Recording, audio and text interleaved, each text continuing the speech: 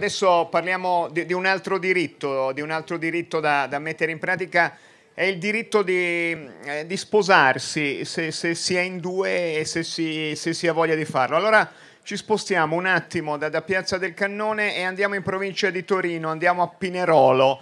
Lì da, credo da una ventina d'anni c'è un, un parroco che eh, credendo di interpretare il magistero della Chiesa Cattolica sposa chiunque si voglia bene. È con noi Don Franco Barbero.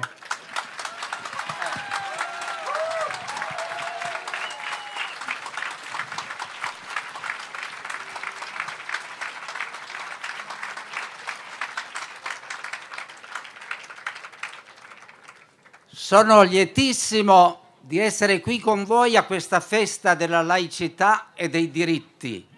Come cittadino e come prete teologo partecipo pienamente a tutte le cose che qui sono state dette. Dunque, ma vorrei ricordarvi, siccome questa è una festa, che stamattina il colonnato di San Pietro ha avuto uno Zumani. L'avete saputo?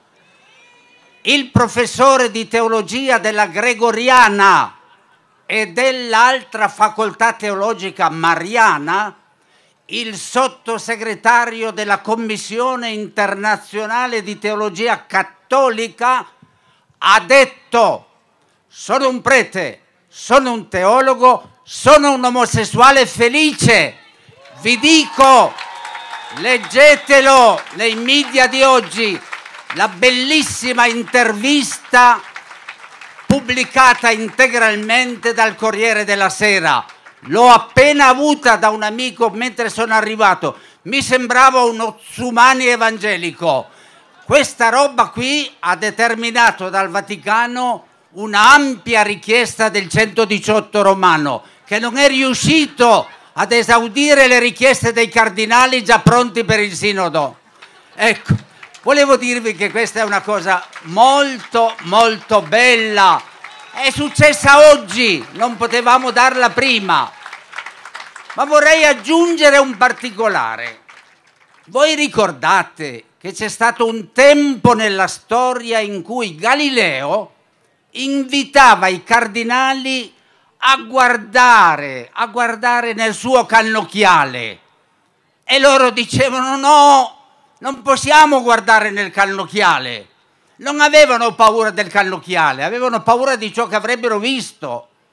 Ebbene, mi sembra che una parte della Chiesa, quella gerarchica, ampiamente rifiuta di guardare ad occhi aperti questa società e si inventano dei pasticciacci alla gender per non riconoscere che,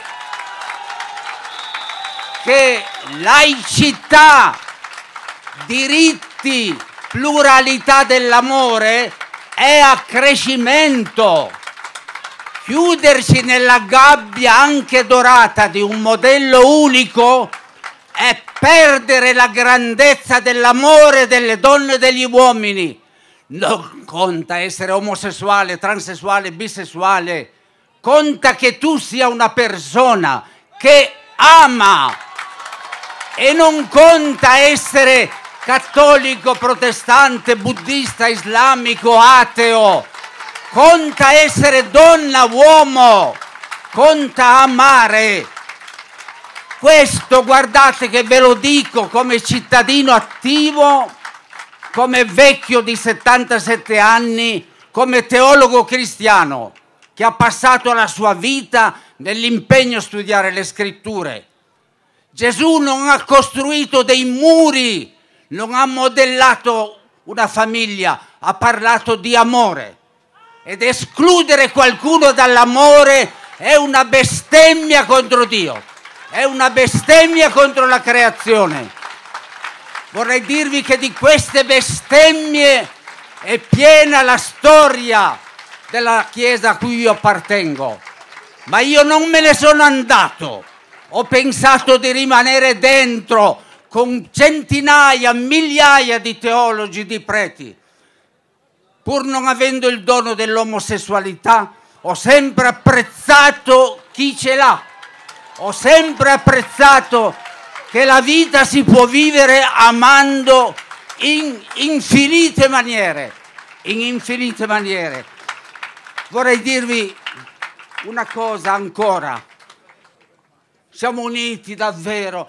Non facciamo delle religioni, delle barriere, dei muri, vedo le bandiere degli atei, ma come sono contento che ci sia finalmente la libertà di essere ciò che siamo. Ma in quest'Italia abbiamo alcune difficoltà, alcune cose da archiviare, un concordato, ad esempio. Dobbiamo fare delle battaglie comuni perché tutte le religioni siano libere ma nessuna sia privilegiata e nessuno sia imposta.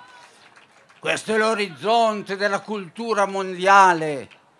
Ma come si fa a perdere questo treno della laicità, dell'antropologia, della psicanalisi e tornare a fermarci a delle istituzioni antiche che sono ancora figlie della cristianità medievale, un sistema concordatario che mantiene ancora qualcosa della società cristiana.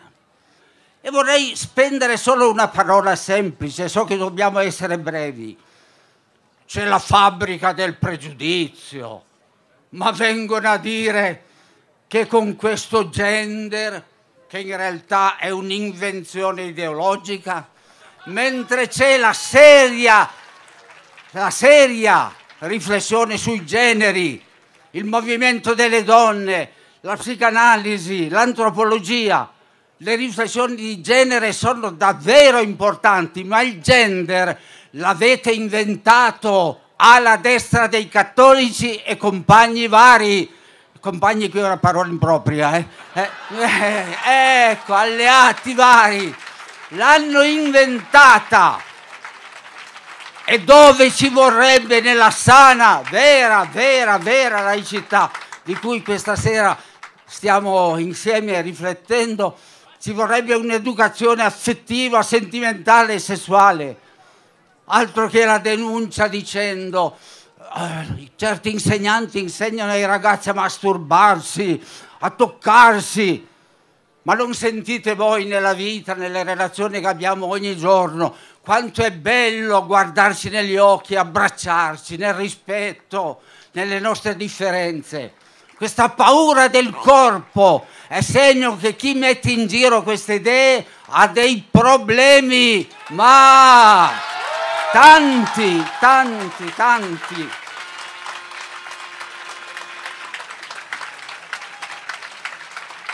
Vorrei finire, forse ho esaurito il mio tempo. Dunque, vorrei dirvi una cosa. Attenzione, eh? Gli omosessuali, i lesbiche, i transessuali, tutta la sigla fino alla Q, non vuole assolutamente accontentarsi di un accontentatino, mi capite? Ci danno qualche piccolo diritto. No, No, nessun contentino. O c'è il matrimonio, tutti i diritti alla pari, alla pari, senza diminuzione di qualità di diritti, o tenetevelo pure. Ci vogliono pienezza di diritti. Questa è la cosa che non possiamo sopportare e poi sentite, io domenica sposavo pubblicamente due donne, ho dato la benedizione, che bello, sono al numero 347. Ebbene, i vescovi non sono proprio d'accordo, ma si può vivere anche senza la benedizione dei vescovi. Eh? Allora il vero problema, il vero problema è questo, che anche sto linguaggio, bello, bravo, di Papa Francesco che poveretto fa ciò che può, è attornato da una canaglia di cardinali che non vi dico. Ebbene, non basta il linguaggio della misericordia, rispetto comprensione, sono tutte carezze per poi darvi uno schiaffo. O la misericordia è seguita dalla laicità dei diritti o è una parola ipocrita. Misericordia, rispetto sono l'anticamera dei diritti oppure sono una farsa e una ipocrisia. Peccato davvero che io abito molto lontano e devo partire per non poter prolungare con voi questa festa. Vi auguro una serata di gioia, di speranza per caricare le batterie per le prossime lotte. Avanti, ciao!